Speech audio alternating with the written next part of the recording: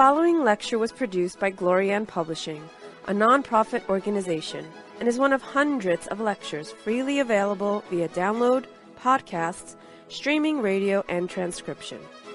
These lectures range in topic and complexity in order to address the many needs of humanity. We invite you to browse our library of lectures, books, courses, and articles to find teachings that suit you. Through the support of donations, Glorian Publishing has published 40 books, hosts international retreats several times a year, offers free online courses, and many other valuable resources, available to anyone worldwide. All of this has been made possible by the financial support of listeners like you. Your donations make it possible for this free public service to reach thousands of people every day. To make a tax deductible donation in any amount, even anonymously, visit GnosticTeachings.org. Now, with heartfelt wishes for the end of suffering for all creatures, we begin the lecture. May all beings be happy.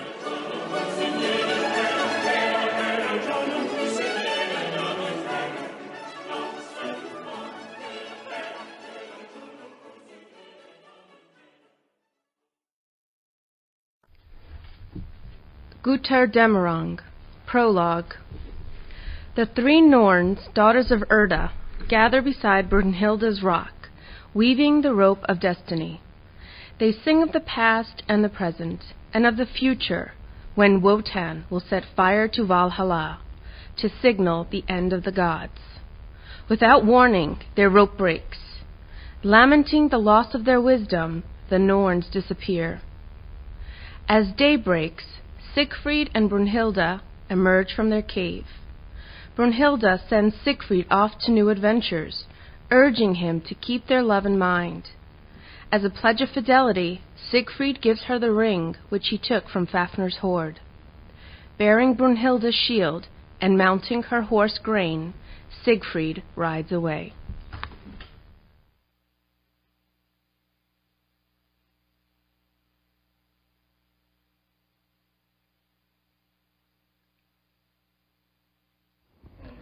Gother Dämmerung. The twilights, the twilight of the gods.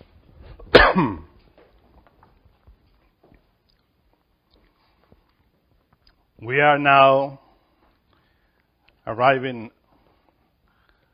at the end of this great masterpiece that hides profound mysteries that only those that walk on the path of the self realization of the being can understand.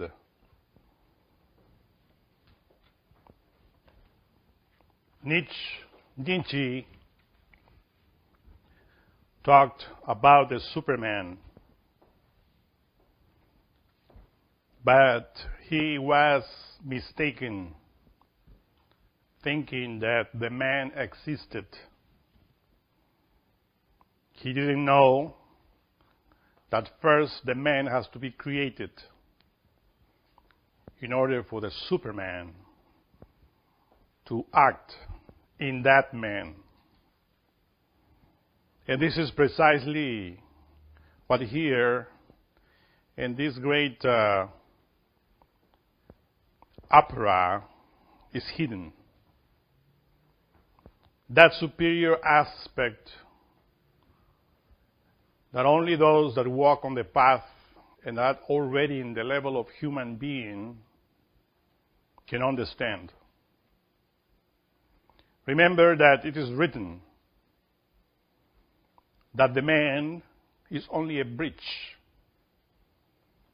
between the intellectual animal and the superman. But we don't have to fall into the mistake of believing that the human being already exists because it doesn't exist. The human being has the possibilities of existing within each one of us. And when we reach that level, then we can understand or walk on the path of the Superman. Nordic mythology explains uh, in a poetic way, speaks to the consciousness, speaks to intuition that we had to develop in order to dig into this marvelous myth that has its roots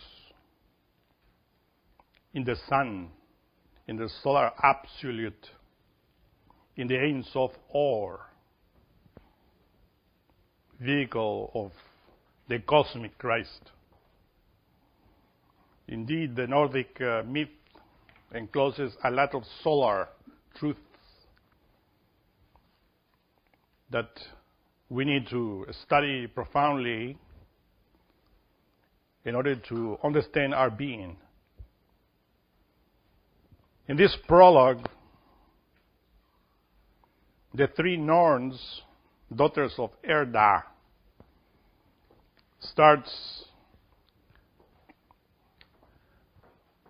woven and unwoven in the loom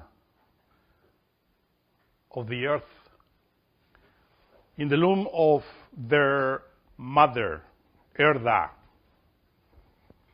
which bring us into memory that, that we call in Latin the anima mundi, or the soul of the world, which is intimately related with the divine mother nature, with the cosmic mother.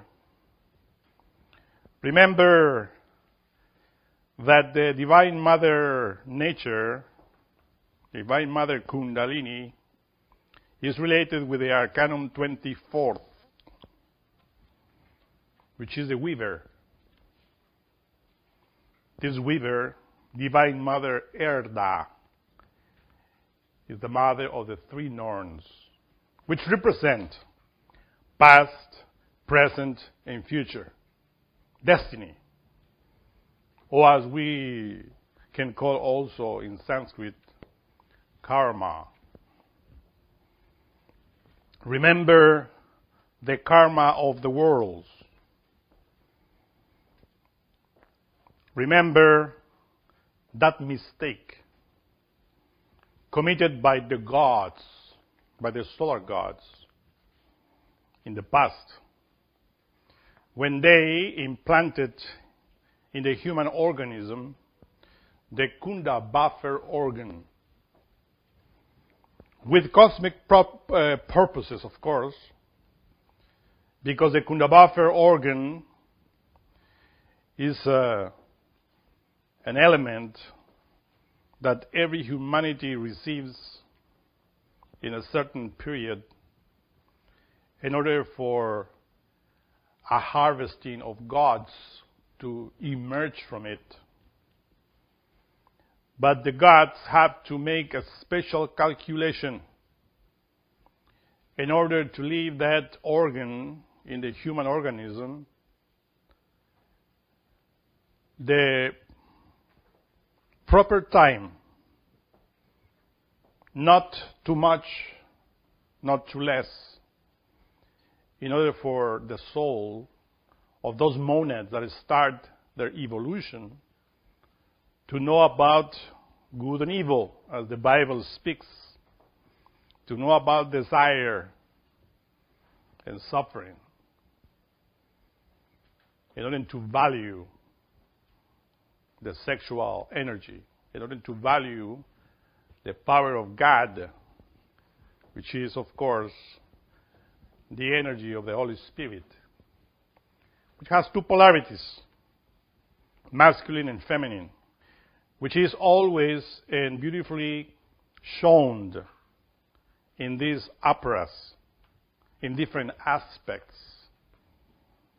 with the masculine and feminine brother, sister, father, mother, and how this marvelous sexual force represented, of course, in the rock of Brunhilda. Remember that the philosophical stone of Yesod is that stone with the builders rejected, but that is necessary and the transformation, the revolution that is happening in this opera obviously begins in the rock when Brunhilda, Brunhilda is uh, sleeping, surrounded by the fire of Lucifer, which is a sexual potency, which in this opera received the name of Loge, which is the same Loki in the myth. Because really, Loki, the fire, is what transform nature. That's why on the top of uh, the crucified, it is written um, mantra or word, INRI, which is a Latin mantra which means ignis natura renovatur integra. The fire renews nature constantly. Loge, of course, is that fire that acts accordingly with karma. And this is something that we had to comprehend in order to understand Lucifer because Lucifer acts according with the laws of the absolute, which originates always any universe. That's why these three norns, which represents karma, past, present, and future, which is the aspect of the Divine Mother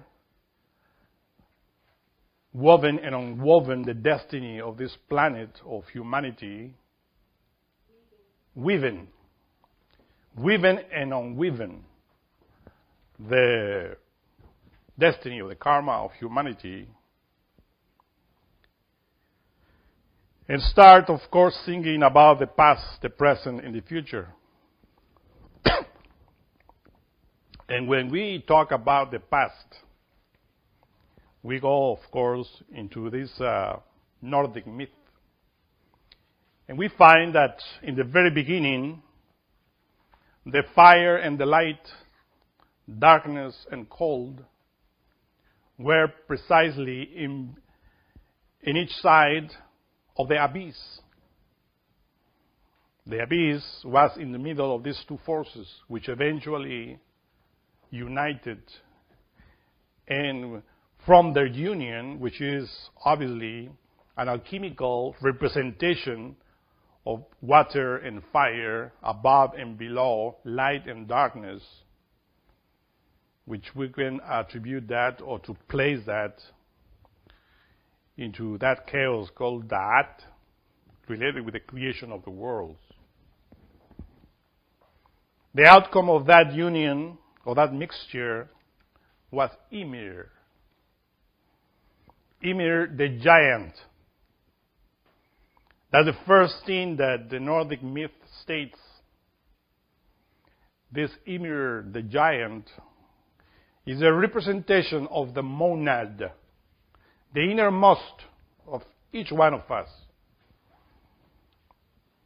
Of course, this innermost, the spirit, the giant Ymir, the monad, within which all the possibilities of creation exist.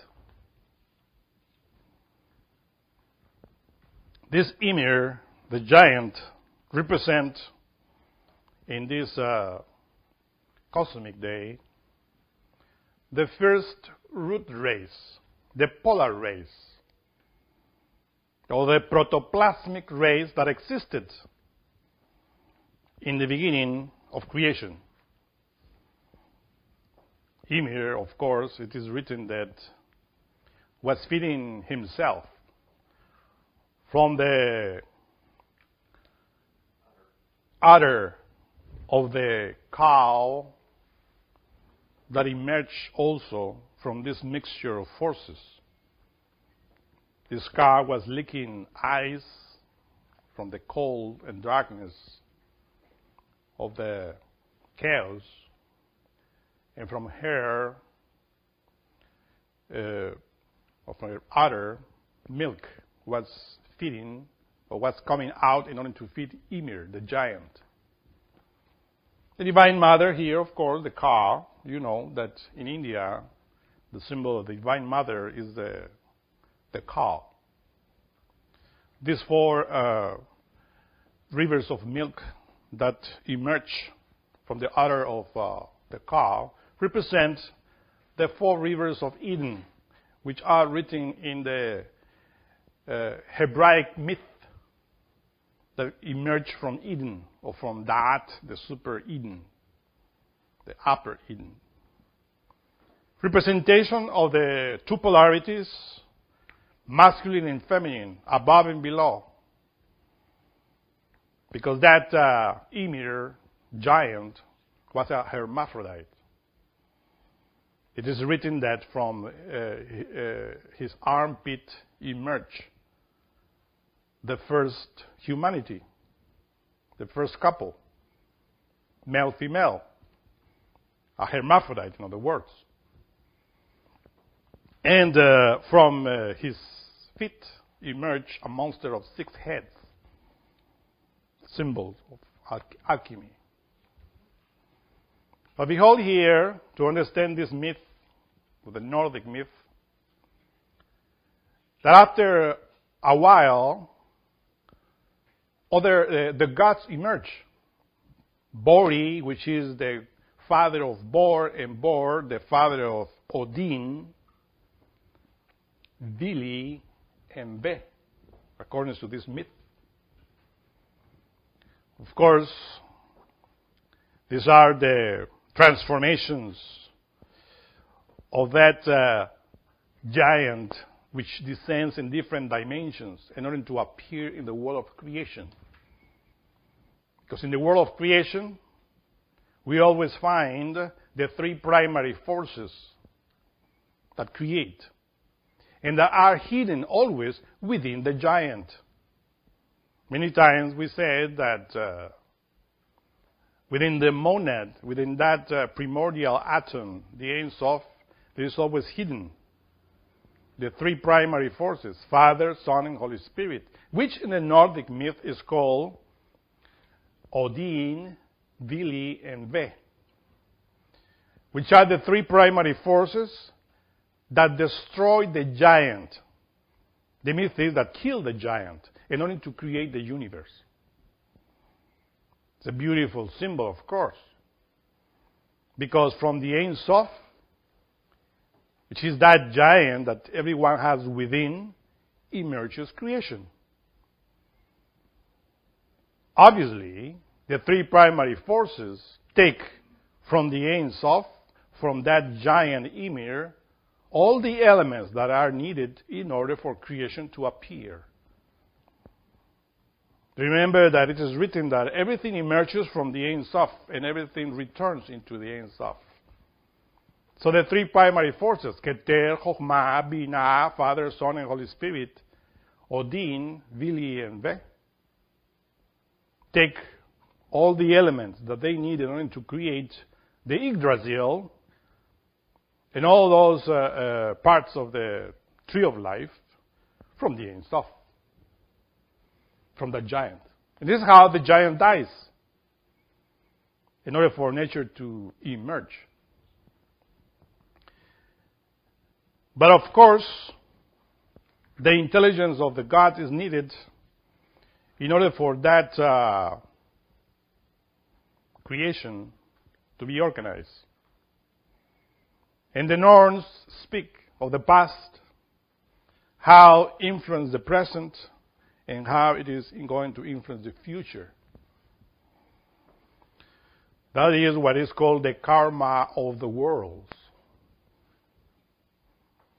In the beginning of this cosmic day, it is written that this great inhabitant of the Absolute, Aparamarta Satya, whose name we repeat always is the Master Aberamentho, which in this planet Earth, in this root race, is called Jesus of Nazareth. He was already out of creation. He was immersed within the absolute light. But when he saw all of those forces of Ymir, immersion, or those monads coming from the absolute in order to creation to appear, he saw the karma of the previous cosmic days that were a very heavy weight in the anima mundi of this planet. And this is how this myth explains from the beginning how the gods intervene in order to plan, to help the karma of this world, planet Earth. And uh, of course, this great being, an inhabitant of the absolute Aparamarta Satya, Jesus of Nazareth, master of Veramento, left, abandoned the absolute, and appeared in the universe in order to help gods and humans. That was, of course, at that time in the chaos. And uh, with time, this great being sent his Buddha or Bodhisattva to reincarnate because any being, whether a Paramartha Satya, uh, Dharmakaya, Sambhogakaya, or Nirmanakaya, needs always a vehicle in order to express his wisdom, in order to teach the way to save or to help. And that's why Jesus of Nazareth, his human soul, was sent to the planet Earth to prepare himself for the great mission that he performed 2,000 years ago. And you know that his being entered into him in order to unite the solar and lunar forces. And that's precisely the descension into the universe of the solar gods. Many solar gods came to the earth in order to manage the karma, in order to help this humanity. But as you know, many of them committed mistakes because they didn't take into account the karma of the world. And this is how this opera explains in the prologue how the karma of the world developed. But the gods are always helping. They left the Kundabuffer organ too much time in the human organism because they didn't take into account the karma of the previous three rounds. And the problem is, of course, as you see in the opera, how is described the Götterdämmerung, the damnation of the gods. The rope, of course, breaks because with the karma that the planet has, they cannot uh, predict the outcome because each one of us, instead of uh, annihilating the karma, we increase more the karma. And the lunar forces take strength, force. And the only one that can help in this negotiation with the karma, because nobody mocks the karma, the superior karma, then you see how after this uh, singing of the Norns about the past, the present, and the future, Siegfried and Brunhilde appears in the stone, in the rock. They're already united. This in the initiate that enters and that wants to be free from this karma, from this heavy log that we have in our backs, has to do. And of course, this is, as uh, in the previous lecture, the speaker explains very well how the two souls have to be united in order to overcome that karma. Hmm? Because first, the common and current, or I mean, the common and ordinary karma has to be overcome, which Siegfried already did it.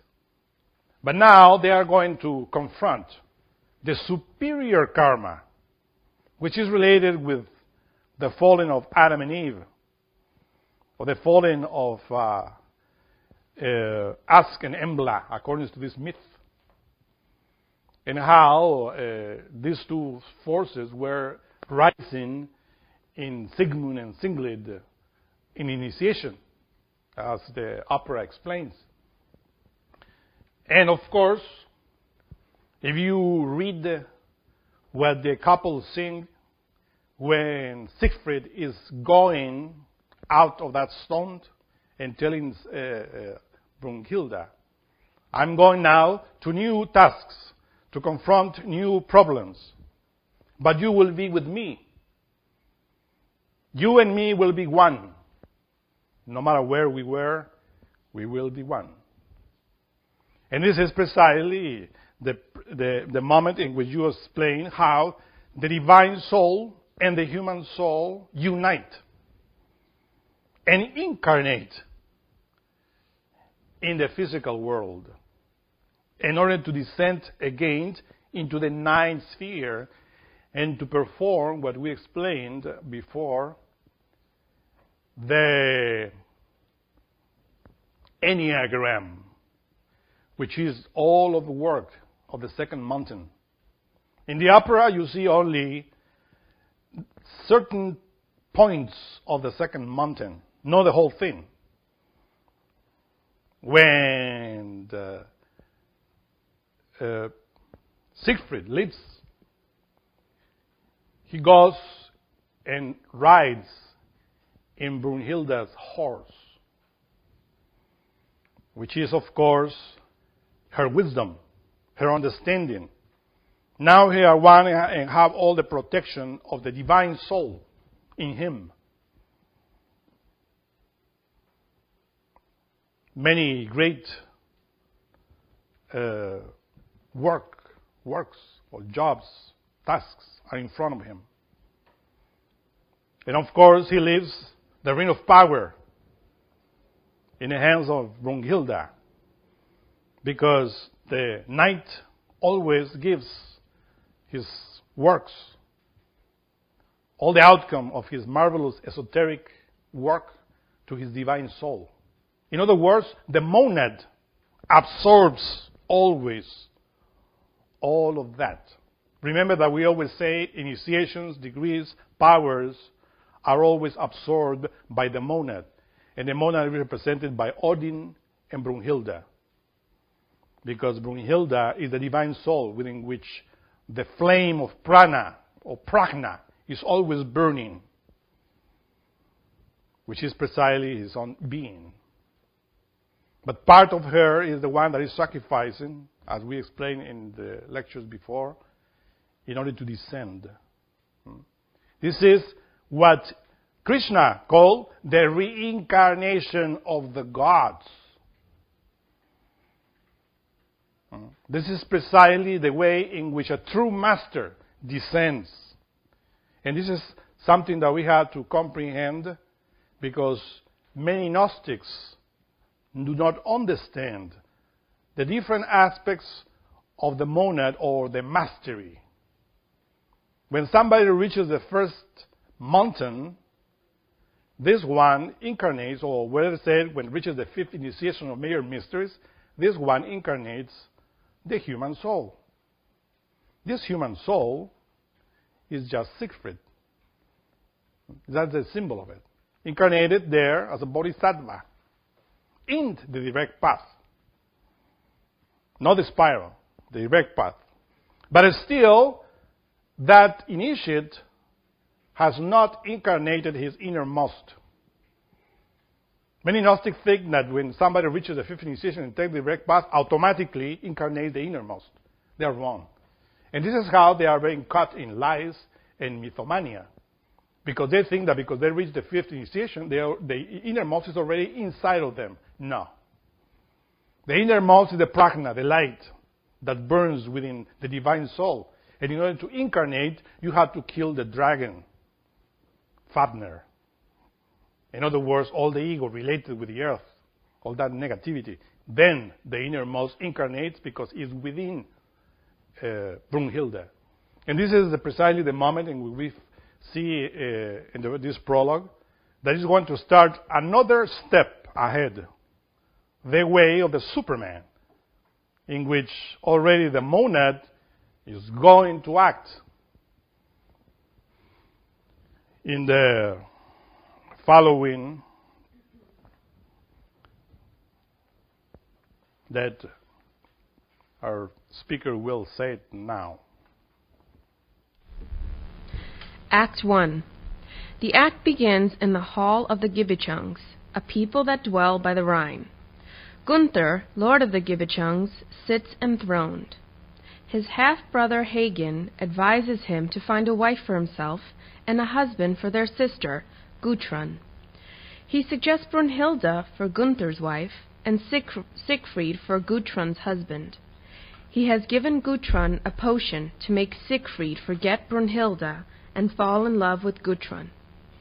Under its influence, Siegfried will win Brunhilde for Gunther. Siegfried appears at Gibichung Hall, seeking to meet Gunther. Gunther extends his hospitality to the hero, and Gudrun offers him the drugged drink. Unaware of the deception, Siegfried toasts Brunhilde and their love. Drinking the potion, he loses his memory of Brunhilde and falls in love with Gudrun instead. In his drugged state, Siegfried offers to win a wife for Gunther, who tells him about Brunhilde and the magic fire. They swear a blood brotherhood and leave for Brunhilde's rock. Meanwhile, Brunhilde is visited by her Valkyrie sister, Waltraute, who relates how Wotan returned from his wanderings one day with his spear shattered. Wotan ordered branches of Yggdrasil, the world tree, be piled around Valhalla, sent his ravens to spy on the world and bring him news, and currently awaits in Valhalla for the end. Waltraute begs Brunhilde to return the ring to the Rhine maidens, since the ring's curse is now affecting their father, Wotan. However, Brunhilde refuses to relinquish Siegfried's token of love, and Waltraute rides away in despair. Siegfried arrives, disguised as Gunther, using the Tarnhelm, and claims Brunhilde as his wife. Though Brunhilde violently resists, Siegfried overpowers her, snatching the ring from her and handing and placing snatching it from her hand and placing it on his own.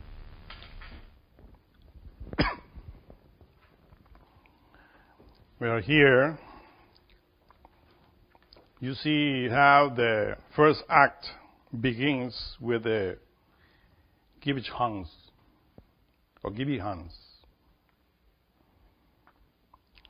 In these uh, words, it is something very significant that you find Gibbonhunds, is how you say it, which is, of course, a kingdom.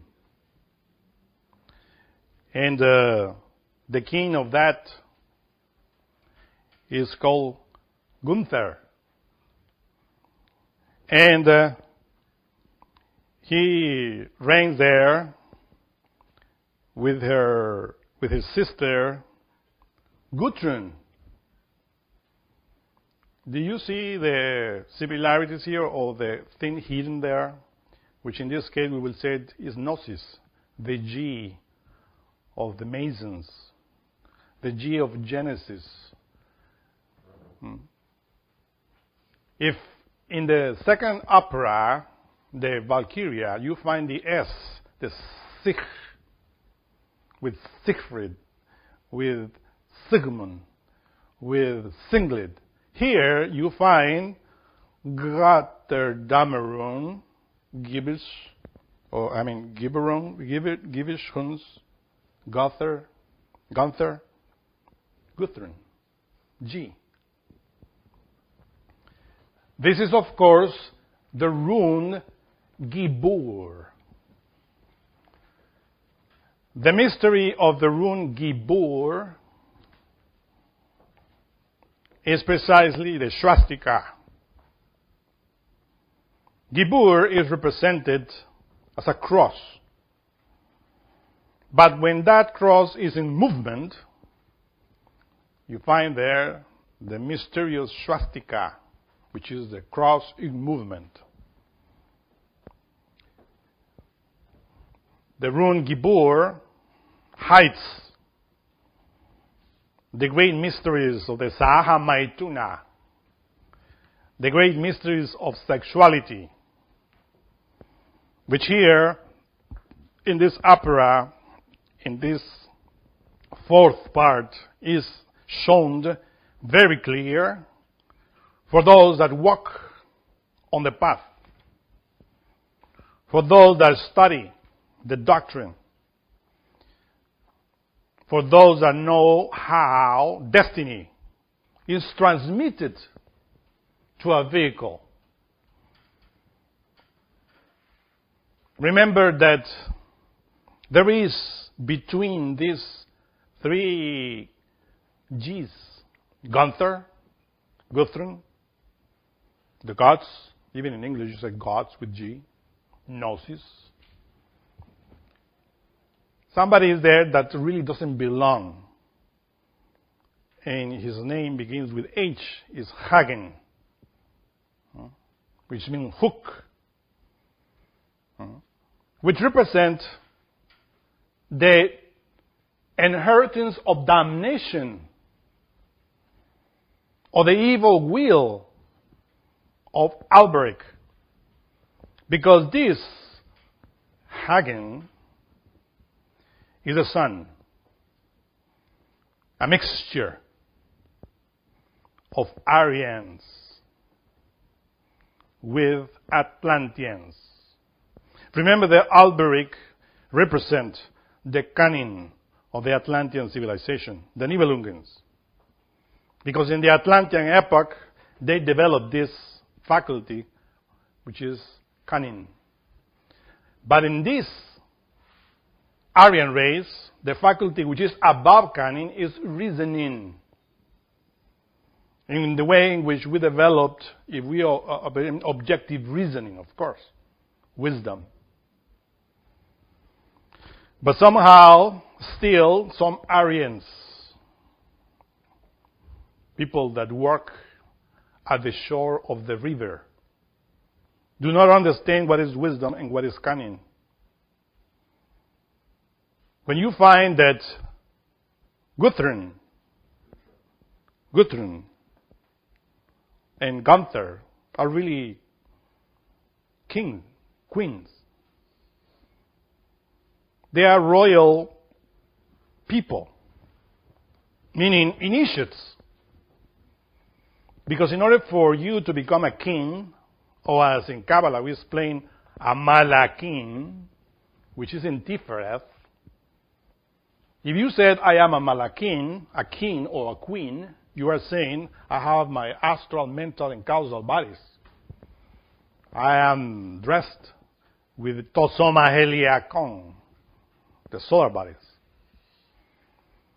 So this is precisely the development of this uh, uh, first part, because Siegfried is navigating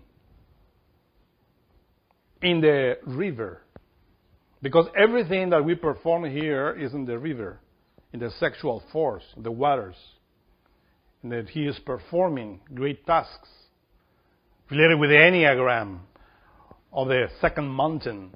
When you have to go and annihilate your ego in other levels. Not in the level that we are doing here. Because he already annihilated the dragon of the earth, which is that uh, karma or those egos related with 96 laws. Now he's going deeper, navigating in that river and to going to hell in order to annihilate other creatures, which the Master Samael explains very clear in the three mountains.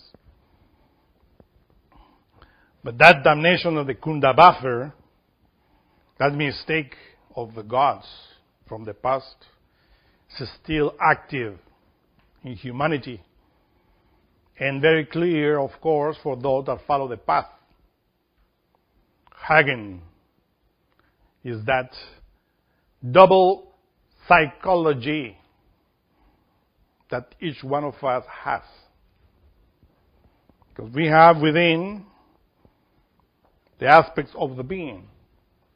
And any initiate that walk on the path develop his being, his spiritual soul, his divine soul, his human soul, but has also the ego there, which in this case represents Hagen, how the personality works through that uh, double aspect or double per, uh, psychology. In other worlds, in other planets, you find humanity with a very strong spirituality, with Ymir is very strong and big. Nothing negative. But only in this planet Earth you find that odd duality in which the lunar and solar forces are disequilibrated, out of balance. And Hagen, of course, is very strong and always is within any uh, kingdom, within any court. If you study, for instance, this opera from the superficial point of view, you will see how in this humanity, the Aryan race, unfortunately, the ego is fully developed, very strong. And that is precisely our own particular Hagen, which through inheritance, through time, has become strong. And the problem is that there are people that fortify and that worship that Hagen, that false personality that we have within, and worship it. Through, even through religion. So, you find that the damnation of the gods, or the mistake of the gods, has been inherited through this double psychology that we have, Hagen, through three factors. The first factor is that that we call genotype, which is related with the genes. And of course, that is transmitted to the sexual act. All of us receive that damnation, or as the Bible says, the original sin through the sexual act. Because all of us are children of fornication, no exception. Children of adultery, no exception. Because orgasm, spasm, is fornication, is damnation. It's a sin against the Holy Ghost, a sin against the spear of Wotan. And when we walk in this path, we had to face that unforgivable sin. And this is something that people forget. When they enter into the path, they think that because we are on the path, we are going uh, out of sin. No. Even the we will say the exotericism outside when they talk about the forgiveness of sins. They think that fornication and adultery is forgiven when they accept Jesus, which is really false. Because it is written there in the same Bible that fornication and adultery is an unforgivable sin. Everybody has to pay that with death. I repeat, with death. Only with death you are free from that karma duro and karma saya. Karma of fornication and adultery. So of course, genotype, we are the outcome of genotype, inheritance. Our fathers, or our parents in this case, put it in our body, that inheritance, in our blood in our flesh, in our bones. Because we have the elements that bring into our physical body that damnation. And that is precisely what we call lust, cupidity, anger, greed, and all those defects that we have in abundance. Those elements are the magnet, is the Hagen within. Or we will say it, to better explanation, is the Alberich within that eventually will build the future son, which is Hagen. So this Hagen is the outcome of Alberich through time. And this is how precisely why Wotan says he already have a child. Alberich has a child, an inheritor, an heir, in other words. So, phenotype, education. The type of education that we receive in this day and age, most of it is related with cunning, cunningness, and how our personality strengthened in a negative way and we are looking just for money, for gold. Anyone in this world wants to have money. They think that they will find happiness in money, in gold. This society is built on, the, uh, uh, on that uh, uh greed, covetousness. The phenotype that we receive is false. And even in this time, these personalities false personalities, these Hagens that are, are abundant, they uh, are atheists. And they think that atheism is the summit of wisdom. They are against the gods. They destroy all the religions. And of course, paratype, circumstances, is the other factor with which Hagen, the personality, the outcome of that Alberich that we have within evil will, which is uh, based on fornication, develops. These are the three factors genotype, phenotype, paratype that build this false personality, which is built upon the subconsciousness which is coming from the past. Each time, the initiate has to confront. That's why when they fall and they confront that, they, they, they found a, a great uh, problem. Because the enemy is never outside. The enemy is inside. And that's precisely the problem of many initiates that they focus always that the problem of the salvation is outside and they always condemning other religions or accusing other people and forget that the real damnation, the, the real traitor is within each one of us. If we do not annihilate the interior traitor, we'll be always in the same level.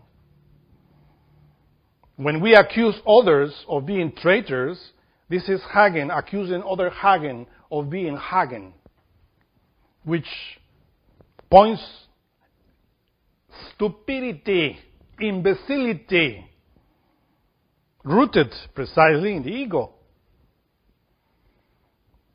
And it's precisely because Hagen is so strong that we think, or he thinks, that he will have the power of the ring.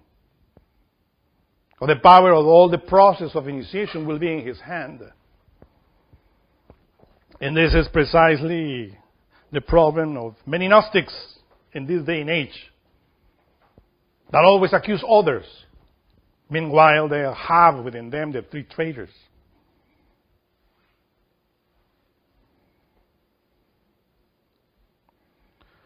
So you see here how this uh, upper couple, Brunhilde and Siegfried, the human soul and the human soul within the initiate, are happily receiving their initiations, their union, their love, because they are united by love. But below, in the physical world, you find another brothers, which are Gunther and Guthrun, but are not the common and ordinary brother and sister that are in sin. They are initiates. They are handling weapons. Could be any group of initiates that know about the rune Gibor, the swastika, the power of the cross and movement that originates universes, that originate monsters, beasts, and human beings. Without the rune Gibor, without the swastika, nothing can exist. Remember that through the swastika, through the cross, is how Balder, the beautiful son of Odin, that in this case has a similitude related with Siegfried, which is innocent, beautiful, strong, a warrior, but still is innocent and doesn't realize uh, how this fate is going to finish. But he is doing the work because everything is altered, everything is transformed above and below with the swastika, within the initiate, and within humanity. It depends how we use it. It comes into my mind, of course, this initiate that everybody knew with the name of Hitler, who knew about the mysteries of the swastika, but which in the end was cheated by Hagen, by the Hagen of others and by his own particular Hagen, and start using the swastika in their own way. And instead of the way of arriving at the self-realization, he became a dangerous Hanasmuss, which is precisely the great problem in this Kali Yuga that happened to many initiates. One needs to know how to use the swastika. The swastika is good when it is guided by the being when the, our inner being commands it and con- controls it. Because when somebody reaches mastery, has to be always under the guidance of the being. Only the being can say, go down to the ninth sphere, now stop, don't do it. People think that the whole rules follow for the same initiates, or for all initiates. But they are wrong. Because every initiate in itself has a different karma. And the being knows how to handle that karma. And that's why we cannot say, oh, at a certain time we have to stop being in the ninth sphere or using the swastika. Only the initiate that walks on the direct path knows when to use it, when to stop to use it. Because I repeat, everybody has a different type of destiny. There are initiates that fell very deep, others that didn't fall so deep. So in order to deal with that, with the rune Gibor, the mysteries of the swastika, we need to study very deep. Our own particular individual karma. And that's why Gunther and Gudrun, the brothers, bring us into our mind Adam and Eve again, but not falling, standing. Of course, the brother is the brain and the sister is the sexual organs, as we always explain. The sister, Eve, Gudrun, has always the cup, while Gunther has always the brain, which symbolizes knowledge, wisdom. So, of course, Siegfried, within any initiate in the physical world, at that level, is performing great tasks, great marvels. But remember that if uh, Gunther represents the brain and Gudrun the sexual organs, obviously Hagen represents the evil will, the way in which we satisfy desires and we can be cheated by our own particular ego, represented in the personality. And this is how after performing great tasks, after, after performing great works, Siegfried finally arrived at the physical world because the court, the kingdom of uh, Gunther is in Midgard. And we explained before that Midgard is Malkut, the physical world, when everybody has his physical body, where we always have the negative aspect of the being, which is the personality. Because we have to understand that if the beam is shining above of the master, here below, the darkness, the karma, superior or inferior karma, is always glowing tenebrously through the personality of the initiate. Because that personality is the one that inherited the past. And uh, within that personality is the damnation of fornication and adultery of the past that need to be washed in order for that initiate to achieve, to achieve self-realization.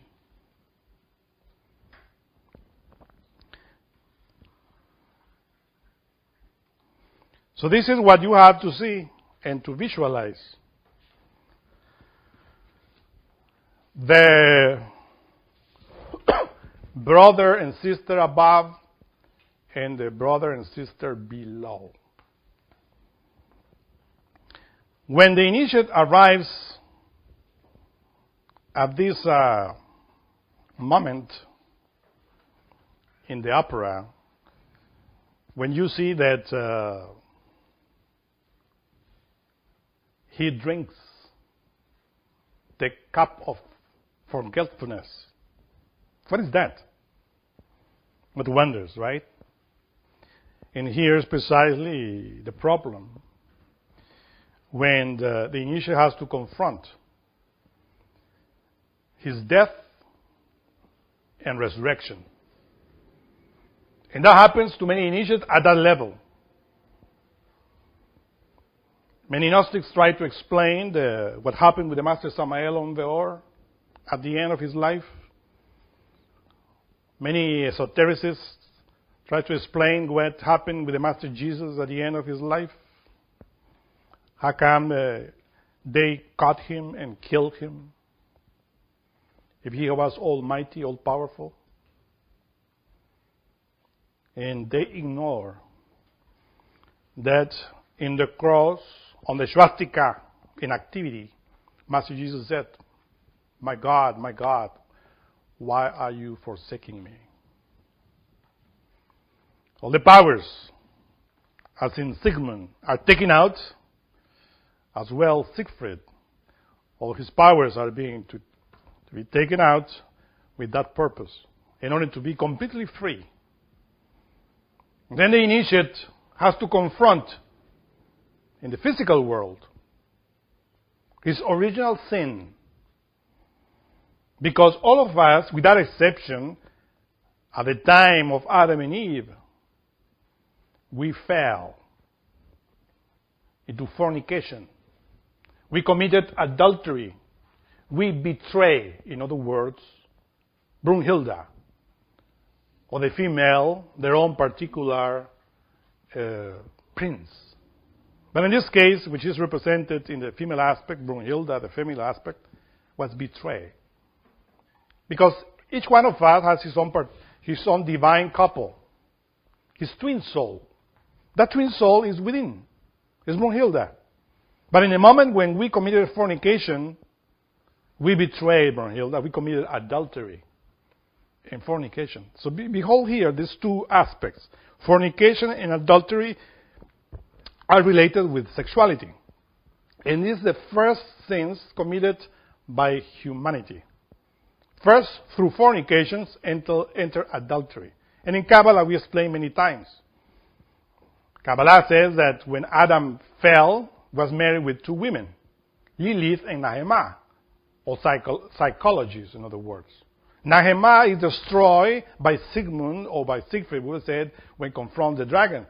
But Lilith is confront, of course, in the Enneagram, in the second mountain.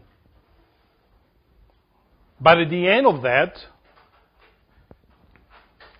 he has to drink the cup of forgetfulness. And that cup is in the hands of Gudrun which of course we know very well that the cup represents the yoni, the sexual feminine organ. And that's precisely the first step is to marry. He says, by toasting to Brunhilde, he drinks the cup because he's the last task. When his inner being says, well, now you have to confront the woman with which you fell in the past. And you have to marry her, you have to transmute with her, because with her you fell, and with her you have to lift up completely resurrected. If the initiate refuses, he says, well, if you want to rise yourself to the level in which you were united with me, you have to confront that. You betrayed me with her in the past. Now you have to face the consequences. Go with her and transmute with her. But be careful because she will try to make you fall again at this level in which you are. And the initiate does it. Because if he doesn't do it, he won't resurrect. Because the karma of Karmasaya and Kamaduro is rooted there in that treason that he committed in the past. And he has to face that. But if he doesn't do it, of course, he will be invulnerable. Invulnerable. Protected by the forces of the Spirit. But if he does it, he will lose that protection. And that's necessary in order for the karma that is a damnation, that is a curse rooted in Hagen from the past because of the treason committed by Alberich had to be fulfilled. And that is damnation of the ring. Everybody has that damnation of the ring inside in, in his own psychology. But you pay that only at the end. Remember how the great initiates at the end die. And they pass for a great humiliation.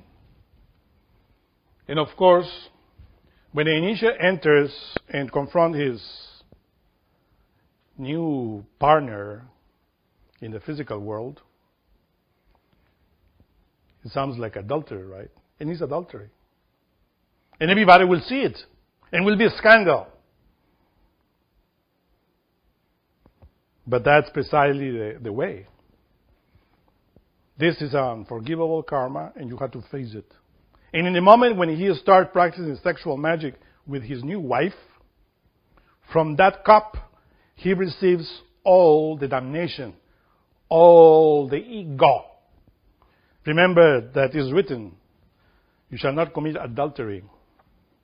Because when you commit adultery, you absorb the psychological elements from the partner that you are committing adultery. Then you have to fight not only with your elements, but with the elements of your partner. You poison yourself, in other words. And this is something very delicate that nobody understands. That's why you shall not commit adultery. But an initiate at that level in which Siegfried is, he has no ego. He's completely innocent.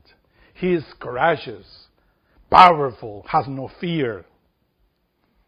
But he absorbs the ego of the woman with which he fell in the past. And that's precisely the elements that make him to forget about his own spirituality because those egos absorb. And that's why you find here how Brunhilde feels betrayed because it's a great pain for the human, uh, for the divine soul. The initiate is already united. Is, is, the two souls are there. They are together. And through that physical action, going into another woman, because it is written that sexual act at that level is prohibited. But then you said now you can go down and do it. So when they do it, of course, Brunhilda immediately notices it. But when he drinks the cup, all of that goes to the brain. Because Guthrun, Gunther, in other words, the brother, has to marry her, which is the brain. You see, if Guthrun is the sexual organs, Gunther is the brain. The two polarities, forces there, remember that when Eve eats of the fruit, infects Adam with his action. Or with her action, I mean. So,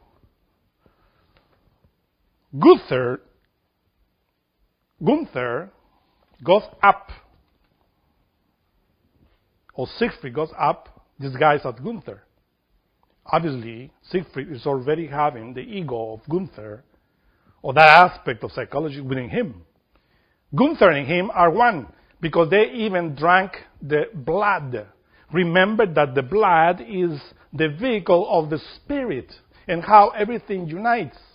After he drinks the forgetfulness cup, he drinks the blood and obviously becomes a brother. It's something united there. The whole ego of the partner is inside and goes up because Siegfried already is in that level and goes up to the same level in which Brunhilde is. And Brunhilde says, What is this? My human soul came here courageously, victoriously, and now this part, what is this? And he, or she, I mean, visualizes something filthy. Of course, it's the ego. Or that new partner in which now is confront, in which divine and human soul have to confront precisely the original sin, which is related with male female, which is related with uh, Ida Pingala, which is related with Adam and Eve. There are two polarities, up, above and below. And that's why he entered disguised with that Hamlet, which is the mind.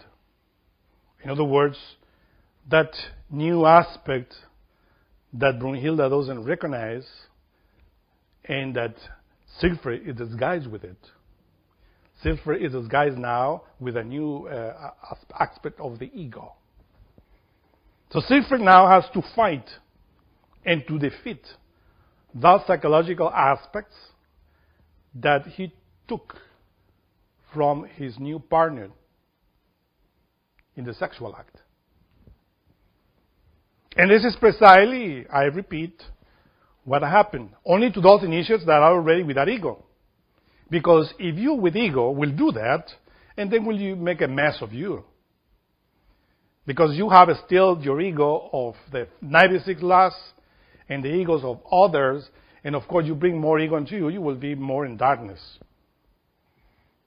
But in this opera, it's very clear. Siegfried already killed the dragon. Siegfried already performed many attacks of the Enneagram. And finally, with that ego, innocent, clear, and pure, appears there and is Mary in order to confront the last task, which is to overcome fornication and kamaduro. And takes his wife, and he starts losing his powers. And Hagen, which is precisely rooted in the original sin, is going to plan his killing. Because with death, you overcome death. Of course, meanwhile, Brunhilde received notifications in the upper worlds, the spiritual soul, that is a revolution in heaven that already Odin, his own father, knows what is going on, and everything is going to be changed.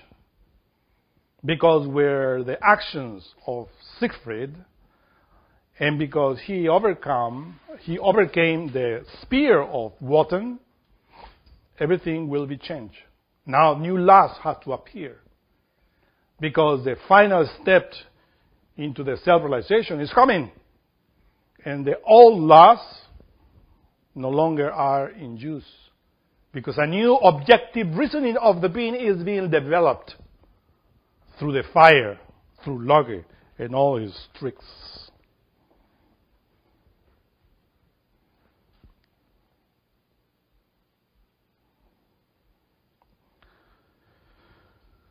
So let us now continue with the second act. Act 2 Hagen, waiting by the bank of the Rhine, is visited in his sleep by his father, Alberich. On Alberich's urging, he swears to acquire the ring. Siegfried arrives as dawn breaks, having secretly resumed his natural form and traded places with Gunther. Hagen summons the Gibichung to welcome Gunther and his bride. Gunther leads in a downcast Brunhilde, who is astonished to see Siegfried. Noticing the ring on Siegfried's hand, she realizes she has been betrayed. She denounces Siegfried in front of Gunther's vassals. Siegfried swears on Hagen's spear that her accusations are false.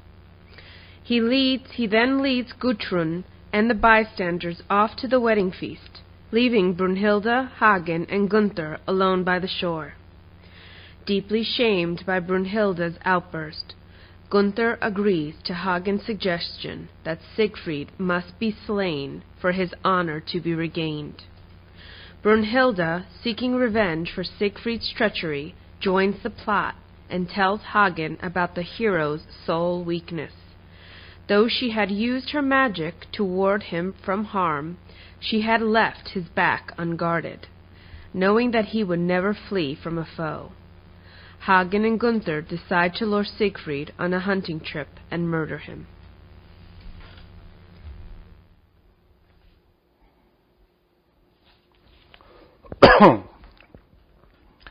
so, by following this, you see how Catancia Karmasaya, and Kamaduro is being fulfilled.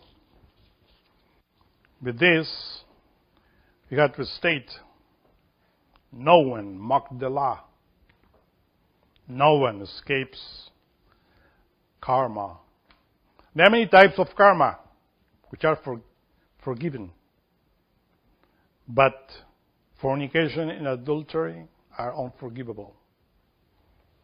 Especially if it's a fallen bodhisattva, which is related with Katancia. Here you see, of course, that Alberich appears in a dream to Hagen in the beginning of this part. The dream, subconsciousness, infraconsciousness. You all know what dreams means and that comes from. And of course, in all the subconsciousness, infraconsciousness, we find the dream world. Our own particular Alberich, which is not one but legion, synthesized in evil will.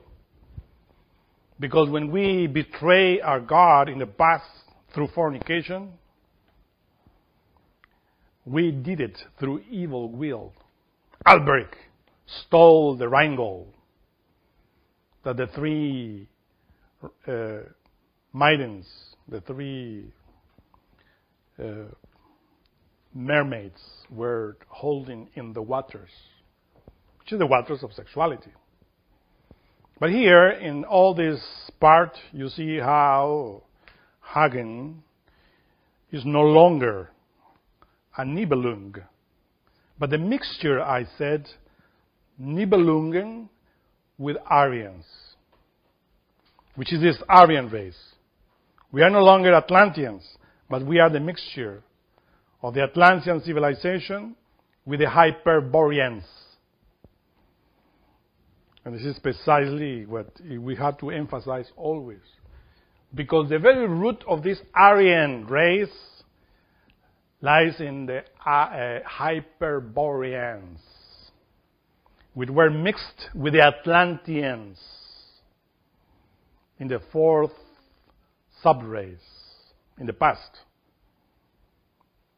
And the Atlanteans are the inheritance of cunning, and we inherit wisdom from the Aryans. Unfortunately, this mixture is everywhere, and the lunar forces of Hagen are strong. Even though uh, everywhere that you see, you find this mixture. Because the Aryan race populates all the planet Earth, seven subraces. We are now here in the United States and Canada, where the seventh and last subrace of the Aryan race is being developed. Before we had, of course, other previous races. And the Hyperboreans were precisely taking care of these solar gods we're taking care of this Aryan race in different continents, to different ways. Those are what we call the Wolsons, or the children of Wotan, the children of, of God. Or as we said in Christianity and Judaism, prophets. The prophets are the Wolsons, the ones that were in contact, warriors, that were performing the work of God in the earth. And of course, there, Wolsons always developed in different ways. But now, uh, in order to overcome the Katancia, Kamaduro, and Karmasaya, Alberich is reminding him, remember the ego, that we had the power in the past. Remember that you are my son. are you sleeping? Hagen. Remember that the followers of the lunar force are awakened. Black magicians, which in this case are represented by Hagen, which enter in every way. It is written that Yahweh, the boss of the Black Lodge, took into his hands all the religions of the world in order to control humanity. Of course, Yahweh is the boss of all of those awakened black magicians that are always trying to steal the power in order to conquer, in order to gain the battle. The only thing that they gain is power in Qliphoth, in hell, but never in heaven. They talk about heaven, talking about paradise, but they never enter because they are traitors. They are awakened. And their own past, their own psyche, always within. I say, Are you sleeping, Hagen? He says, No. I am planning here how to gain the ring that we own by inheritance, by our own right. That reminds me what the Master Samael Aun states He says that when somebody enters and, and, and gains uh, new initiations, new powers, the black magicians get infuriated. Somebody's stealing from us. Somebody's taking from us powers because they think that they own the earth. So obviously they're always planning and complotting against the solar light. So obviously, since Siegfried is already absorbed within the lunar force because he wants to defeat it, Hagen thinks that is an opportunity in order for him to take the power of the ring because it's in his hand already. Was in the hands of Brunhilde, now it's in his hand because it's the power. And he thinks because the apparently adultery that is shown, that he will take part of it. The law uh, allows that to happen because with the, during the process of that uh, uh, event of an apparently or apparent adultery, you know that Siegfried swears that he didn't commit adultery. And it's true. Because Balder, Christ, incarnated within that Siegfried initiate, is innocent. He's just sacrificing. The Lord always sacrifices for the initiate. And when the Lord says, I never commit adultery, he's saying the truth. But remember that when he, Siegfried, went up to the rock, uh, Guthrun, Gunther, I mean, was with him. Gunther and him were one. Meaning that Gunther is the one that is committing that because of the advice of Hagen, his own personality. So when he swears that he didn't commit adultery, he's saying the truth. But meanwhile, he is committing it. You see that, uh, how you said, uh, contradiction? That's why it is written that when the Lord is incarnated, when Balder, Christ, the Son of God, is incarnated in an initiate, he being innocent is accused of being guilty because he mingles with the ego of the initiate. And this is what happened with many great initiates. They are being accused by other initiates that are on the path. That's why the whole drama appears there when all the initiates in that castle are listening to Brunhilde say and what Siegfried is saying that all of them are innocent, there is no adultery. I mean, why is it just adultery? And, and yeah, it is adultery. it, there is adultery there of the past. This is something that is being unfolded there, very clear, and the initiate has to pay the consequences. But somebody is being killed there, or going to be killed innocently. And somebody is being accused there innocently. First, Brunhilda is being accused of adultery, and she really committed adultery unwillingly. But because of the circumstances, she is an adulteress. But because of the mistakes of Gudrun, the physical woman. And this is precisely the great sacrifice that is shown there in the opera, how Christ sacrifices himself for the initiate in order to redeem him. He takes the things as his own, but he is not guilty. He's innocent. But by mixing himself with him, he looks like innocent. I mean, like uh, guilty. And that's why, in different times, initiates were accused by other initiates, by other people of committing mistakes at that level. And when and they ignored that when they were doing that, they were accusing the Christ because Christ was incarnated within them. And they ignore that they were doing that, they were gaining karma. Because all of them are followers of the Lord, Christ. And because they are not at that level, or because they are not following the direct path, they misjudge the initiate. And by accusing the initiate, they are accusing Christ. And they are gaining karma. This is called the Pharisaism. It's still in this time, you see, in the forum, we find people that are always talking about that process with the master Samael Aun Weor. In this case, the master that was in Mexico was the new Siegfried. And he was in that process at that moment. And everybody, because they were only uh, fanaticals of Gnosticism, didn't understand that.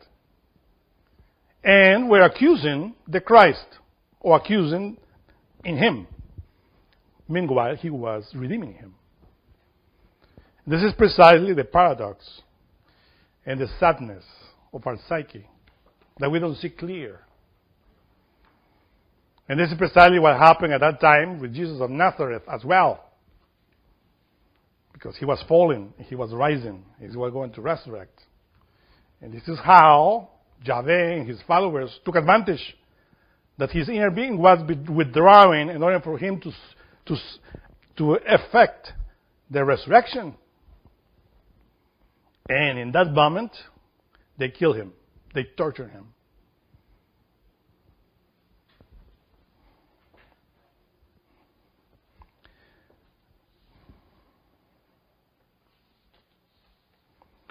So, of course, honor is being spoke about in this uh, part. Honor. Remember, the honor is related with the level of Siegfried, with the second triangle. Geburah, Gedulah, Tiferet. That is the area of honor. New rules, new elements, new laws that the common and ordinary human being ignore.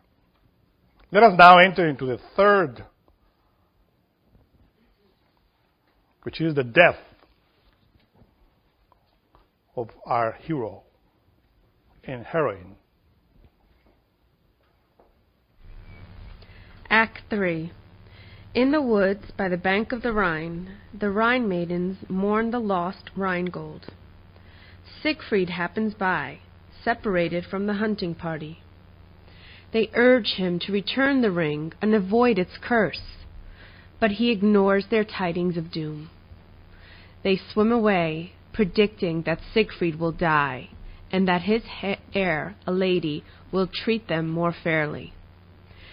Siegfried rejoins the hunters, who include Gunther and Hagen. While resting, he tells them about the adventures of his youth Hagen gives him a drink that restores his memory, and he tells of discovering the sleeping Brunhilde and awakening her with a kiss. Suddenly, two ravens fly out of a bush, and as Siegfried watches them, Hagen stabs him in the back with his spear. The others look on in horror, and Hagen calmly walks away into the woods. Siegfried dies, lingering on his memories of Brunhilde. His body is carried away in a solemn funeral procession. Back in Gibichung Hall, Gudrun awaits Siegfried's return. Hagen arrives ahead of the funeral party. Gudrun is devastated when Siegfried's corpse is brought in. Gunther blames Siegfried's death on Hagen, who defiantly admits to the murder and claims the ring on Siegfried's finger by right of conquest. When Gunther objects, Hagen attacks and kills him. However, as Hagen moves to take the ring, the dead hero's hand raises threateningly and he recoils. Brunhilde makes her entrance and takes charge of the scene. She issues orders for a huge funeral pyre to be assembled by the river, and sends Wotan's lurking ravens home with anxiously longed for tidings. She takes the ring and tells the Rhine maidens to claim it from her ashes, once fire has cleansed it of its curse. The pyre lit, Brunhilde mounts her horse Grane and rides into the flames. The fire flares up as the Rhine overflows its banks, bearing the Rhine maidens on its waves. Hagen leaps after the ring and drowns. The Rhine maidens swim away, bearing the ring in triumph. As the flames increase in intensity, Valhalla comes into view in the sky. Bright flames seem to flare up in the Hall of the Gods, in which the gods can be seen finally hiding them from sight completely. The curtain falls. So, of course, the death of Siegfried is coming from the hands of Brunhilda. Brunhilda advises Hagen to do or how to kill Siegfried because she knows that with the death of Siegfried, Hagen will die because he is the same damnation. Brunhilde plays as dumb, not knowing what is going on.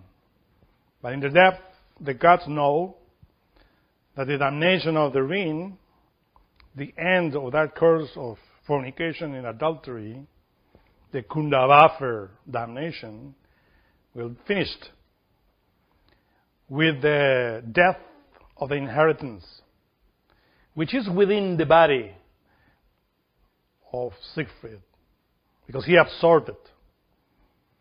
As you see there, it says that he absorbed the damnation. And even the three maids or maidens of the Rhine are advising him to deliver the ring. And this is how many initiates are tempted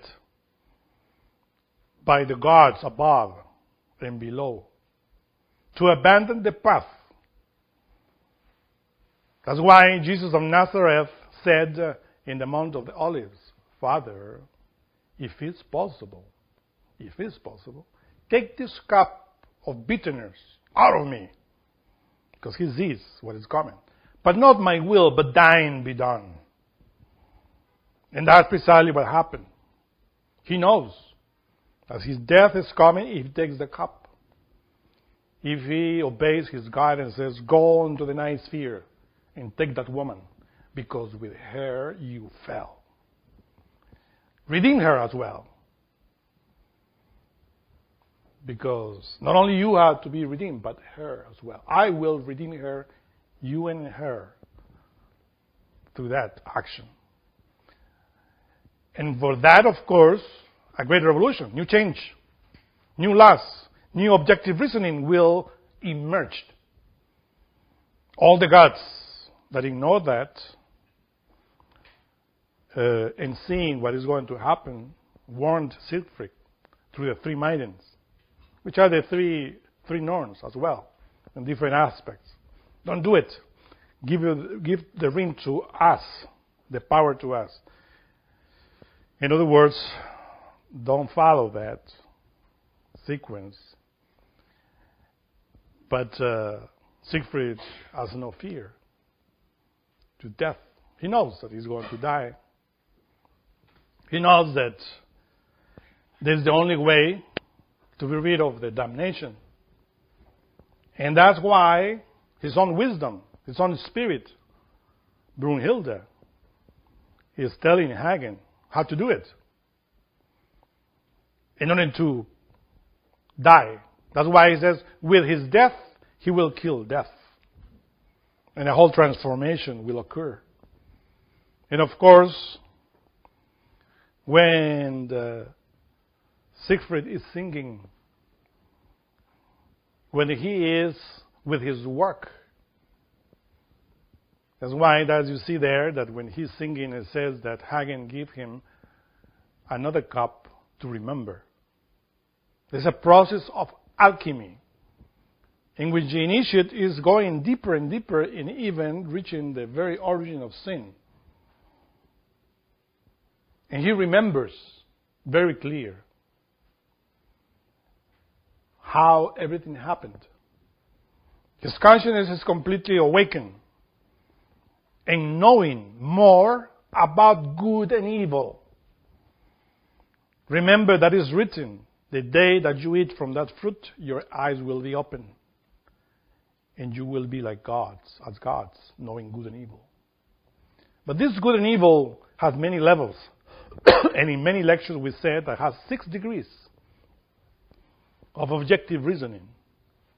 So every time that the phoenix bird rises from his own ashes, his wisdom is higher. His objective reasoning is in another degree. And it's only, of course, through the eating of the tree of good and evil is how you go and know about good and evil. Sexuality. And that's why you find there temptations, ordeals that you have to pass in order to finally achieve that level in which you will realize more about God and His mysteries. This is related with Jonah as well. And of course, Siegfried is singing about the past. His intuition, the bird of spirituality, that power of the past, of clairvoyance, clairaudience, and all those powers related with those levels of initiates, remember him reminding him many things. And with his remembering, he acknowledged that he is guilty of ignorance. And of course, when the initiate finally admits his guilt and his crime, and that he is the very source of it, then the fulfillment comes. Because in order to acquire another level of reasoning, objective reasoning, another level of wisdom, you have to recognize, comprehend. Not just to say, oh, I'm guilty. No. You have to understand, to comprehend the depthness, deepness, the depth. You have to understand the depth of your guilt, your crime. And when you realize that, you really have to accept that you are guilty. And if you don't accept that, you are not in that level yet. To accept that is to recognize your own nothingness. Is to kneel be- behind God as Job does it in the Bible and say, Naked I came from the womb of my mother, and naked I will return. I am nothing. God is everything. When we recognize that when he sings that, and then of course he, he gives his back to the law to be fulfilled that always act through Hagen. And he stabbed him in the back. Treason. Because treason is paid with treason. He betrayed in the past his own God, now he is betrayed. But with that, he is overcoming treason. And eventually, through that process, which is a process that endures one year. When you hear this about the ordeal of Job, you think, oh, just a moment like in the opera. No. In the opera happens, of course, in a short time because nobody's going to be in an opera one year in order to understand, oh, no, it's one year. You know what I mean? The ordeal of Job endures exactly eight years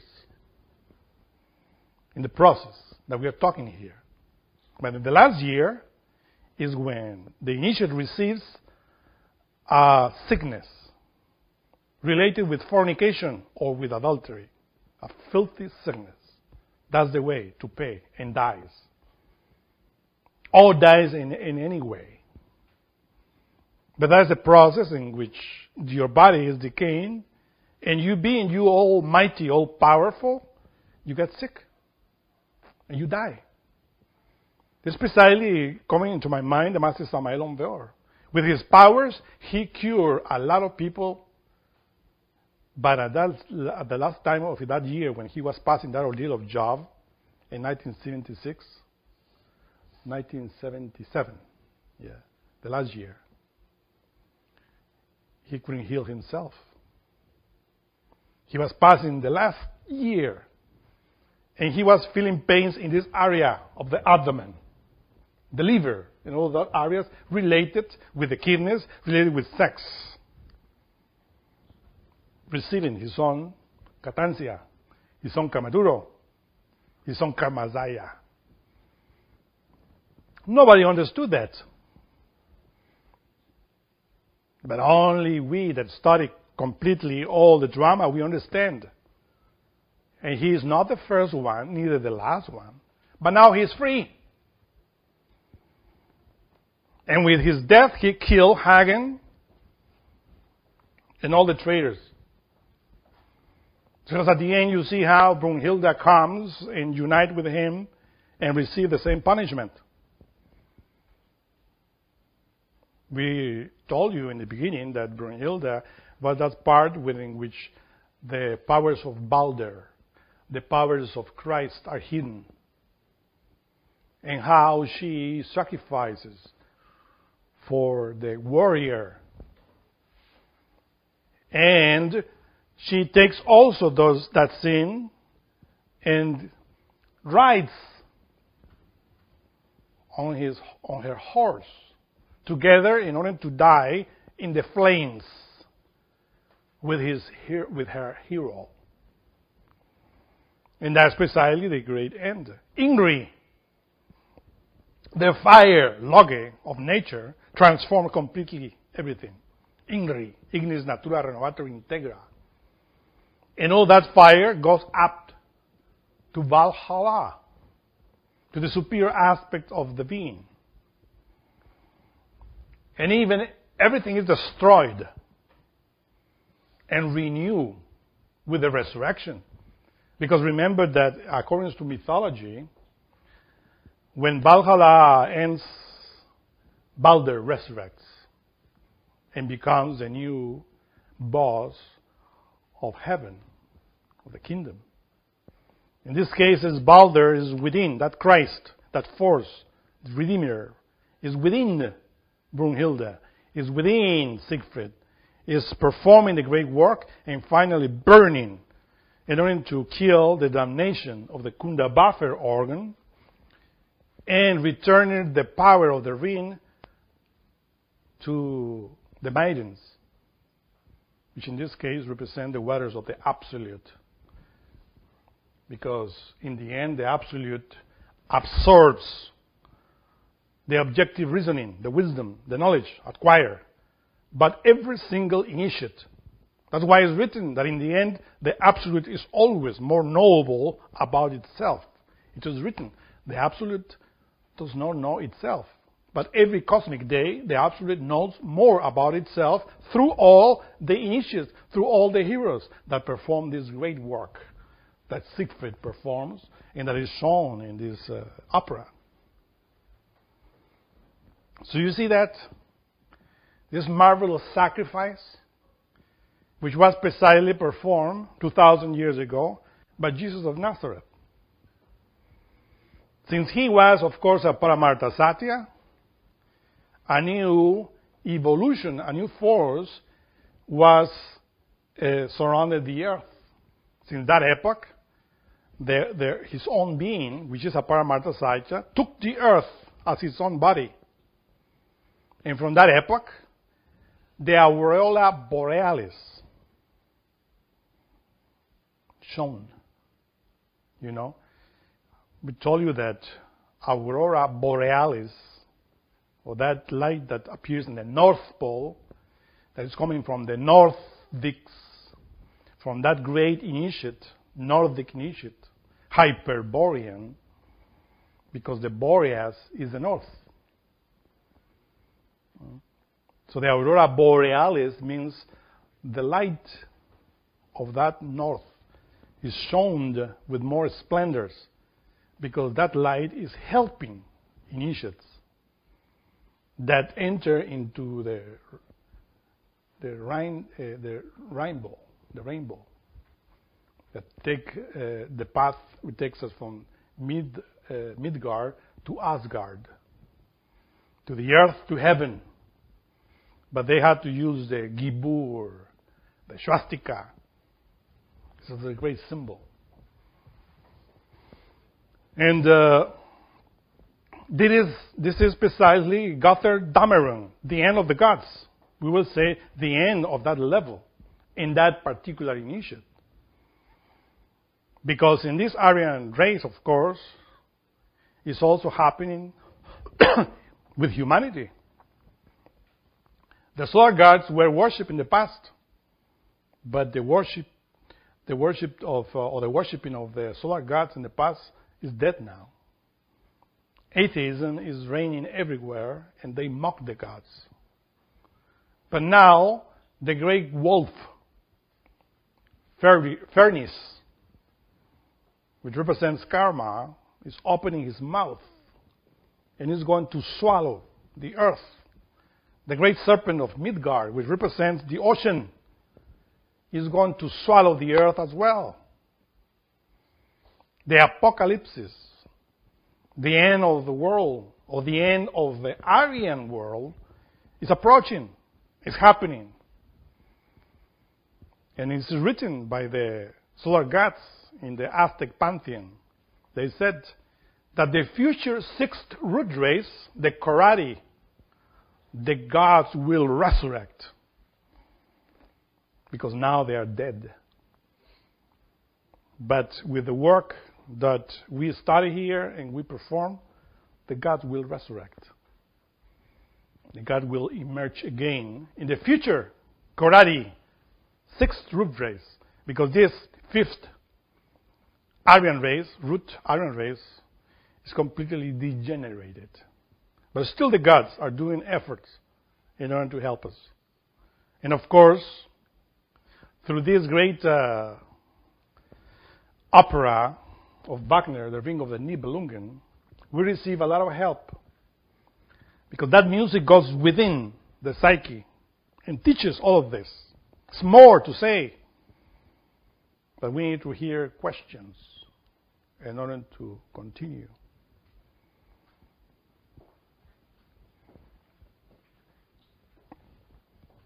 Yeah, the ring being acquired again by the Rhine uh, uh, maidens. As we said, the ring is the power. Remember that the goal, the Rhine gold, as we explained in the first lecture, is in the very tip of the phallus, or the forces, the creative forces in the waters. But that goal represents the solar absolute, the Ein Sof Or, the power of Christ. That's why when the sun shines, that gold glows, which is precisely that power of the Ein Sof, which is the power of creation. The Ein Sof or is called the ray of Okidanokh, is Christ, or Lucifer as well, light and fire that creates, that through the three primary forces creates from the bones and body of Ymir the universe, the Mona itself. But when somebody self-realized and that ring returns into the waters, as I said, is another level of objective reasoning acquired. And of course, the absolute, the Ein Sof or, the Ein Sof, absorbs that. And this individual, particular individual, knows himself more. That's why when any humanity reaches that level, every single member of humanity reaches that level of Siegfried, then from the chaos appears a star, a sun, within which all the mineral, plant, animal, and human kingdom are perfect. Of course, our planet Earth is far beyond that. Still, there's a lot of monads that are failures here. If, by the grace of the law, you marry the one you fell with in the past and transmute together, what would be the difference in the process of redemption?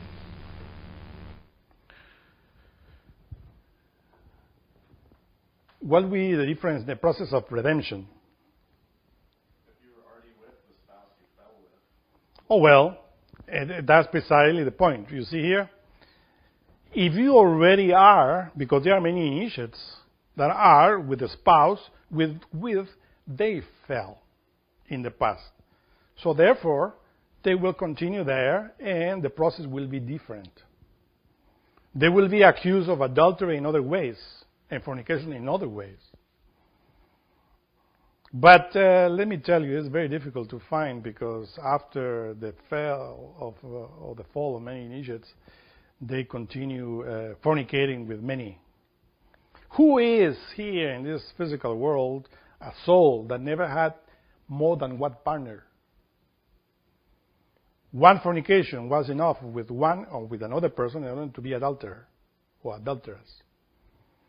Of course, if there are ones there that will be very rare, that never committed adultery or they fell with this woman and they continue being born with the same woman in different lives and fornicating and having children and finally they find a path, of course that will be different. That will be a, another opera.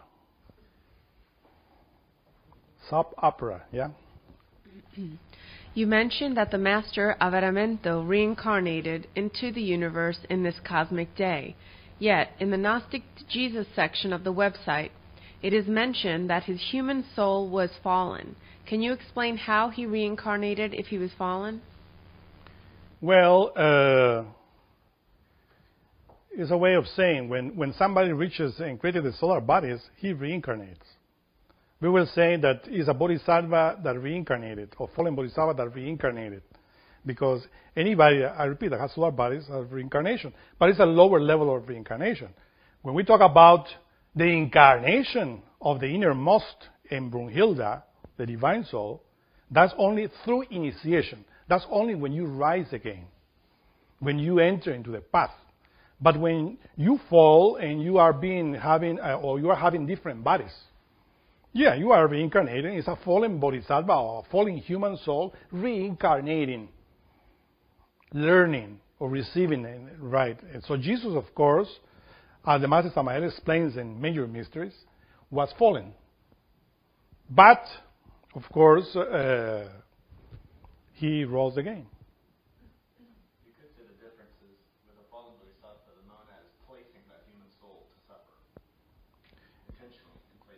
Yeah, yeah.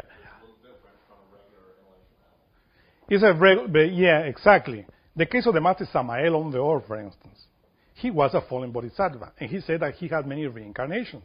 He said, for instance, that he was Julius Caesar in one of his reincarnations and had many reincarnations in different parts. Why?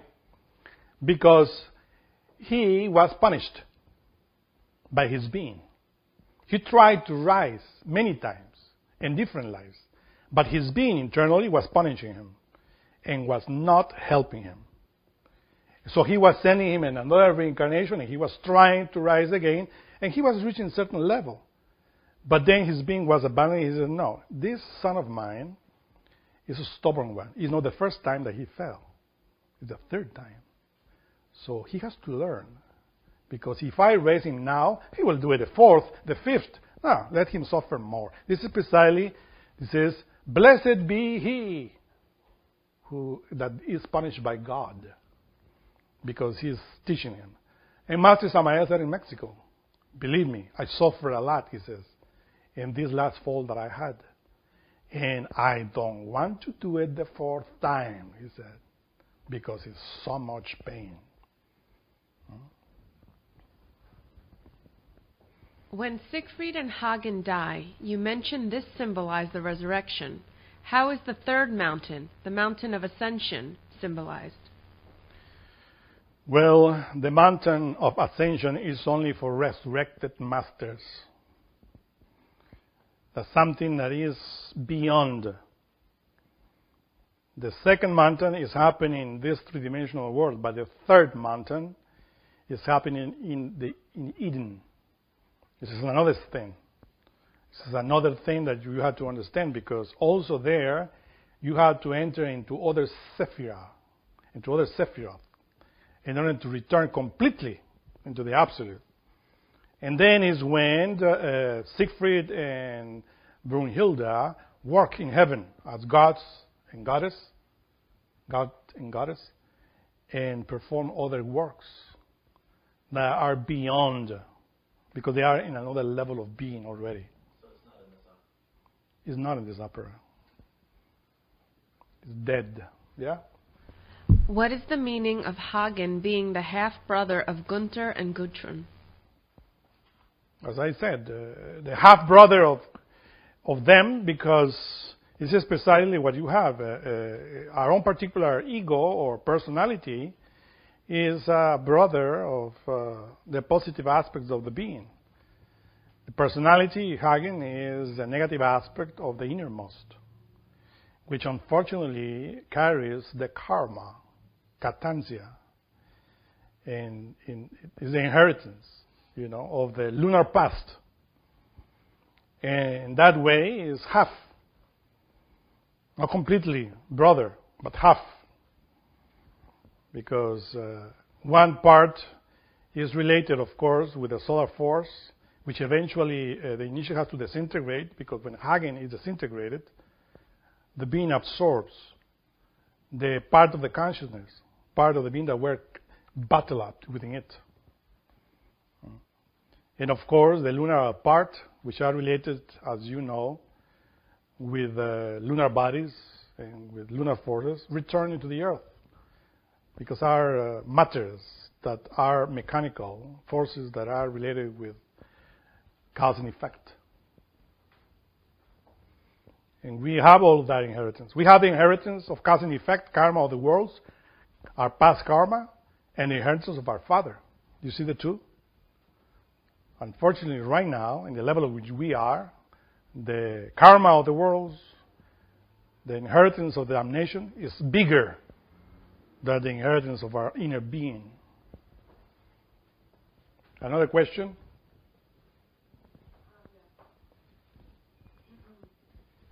When you said that the initiate redeems the one he fell with when he practices with her, does that mean that she loses her ego too? Yeah, of course, that initiate because uh, she is receiving a lot of help. At the end, she dies as well. Or the brother, the two brother and sister die and pass to a great transformation.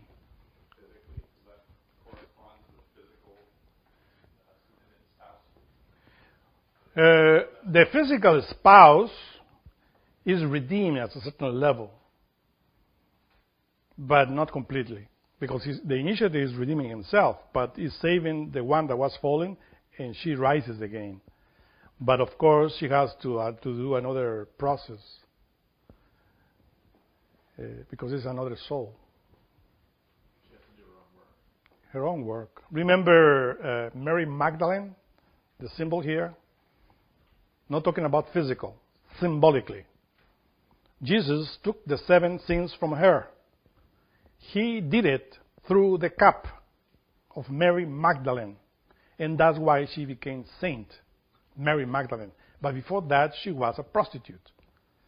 Because any woman is a prostitute with the ego inside. Any man is a prostitute with the ego inside. Well, when the Lord comes, redeems that uh, soul, becomes a saint. That's a symbol. Be, be careful here. I remember, I, I repeat again symbol, esoteric symbol. Not talking about physical here. Right? But symbol of Mary Magdalene and Jesus. Jesus is the Christ, Mary Magdalene is that aspect. And of course, that's why he was accused. Yeah? Can you explain a little bit about the difference between uh, cunning versus reasoning? The difference between cunning versus reasoning. According to the evolution of the brain, the brain, the physical brain, has to pass through those processes. Cunning is, a, is an aspect of the animal, as you see, right? And in the Atlantean epoch, the brain was the, being developed at that level, in which cunning was developing in the, uh, we would say not in the reasoning, but in the intellect of those Atlanteans. And uh, an example of that is written, for instance, in Odysseus, when he is overcoming uh, this cyclops, which represents the Lemurian epoch, by cunning. This is the evolution. And of course, now in this Aryan race, cunning is overcome by reasoning. But unfortunately, there are many people that are stagnant in cunning because they don't mix with the Aryans or the Hyperboreans. So they are stagnant there. We had to go ahead in order to develop this uh, reasoning. But of course, the reasoning that uh, uh, mechanically this humanity developed is the subjective reasoning. Even though this subjective reasoning is, is above cunning, even mechanical. But we are not interested, of course, in subjective reasoning, but objective reasoning, which is above also that uh, cunningness of the serpent that we have to overcome. Different aspects of the development of the being. Do you grasp everything? I, I, I hope that you are getting it everything because, of course, there is more. If you observe, if you hear the opera, it's beautiful, right? How everything is being fulfilled. And that's why many people do not understand initiation. They fall into the mistake. They think that it's something related with uh, science, in relation with religion, with creed. Of course, it's something in relation with that, but it's more profound. This death happened to many initiates, not only to Siegfried, but if you read the other mythologies, you find the same process with Osiris, for instance, right? And that they were written in that way for initiates. And those initiates existed. Can many people think, oh, it's a myth? It's because those heroes didn't exist. No, they existed. But based on their life, they created a myth in order to teach and that's why when you read the Gospels, you find the, the myth of Jesus of Nazareth hidden in his life. But what you read there is not his physical life, but his spiritual development, which is mixed with his physical actions. And if you don't know that, you don't read in between the lines, you follow everything and you think that everything was physical. And then you fall into many mistakes. Every myth has to be studied from the physical point or from the tree of life, in other words, for all the Sephiroth. And then everything is very clear for us. Because now, only now in this epoch, is how this wisdom is openly explain. Before, only to initiates. But we are in the end of this Aryan race, so therefore, people need this knowledge in order to understand and, if they want, to enter into the path of the rainbow to Asgard. More questions? Thank you very much and enjoy the operas. One time, again and again.